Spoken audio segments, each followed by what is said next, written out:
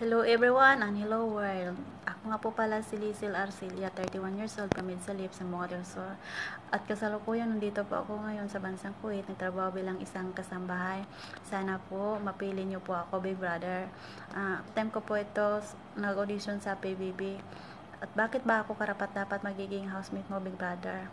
Karapat dapat po ako magiging housemate mo, Big Brother, dahil palaban po ako, matatag, ah, matapang sa lahat ng hamon. Big Brother, mahirap lang po kami. At wala, nakikitira lang po ako sa, wala ako sariling bahay, nakikitira lang po ako sa bahay ng ate ko. At gustong gusto ko po na mabigyan ng pag, pag, ah, magandang buhay ang aking mga anak at gusto kong makapagtapos sila sa pag-aaral kasi po mahirap po kami at gusto ko po makapasok sa bahay mo sana naman basta baka baka ito na ang opsyon na mabago ang kapsyon ng buhay ko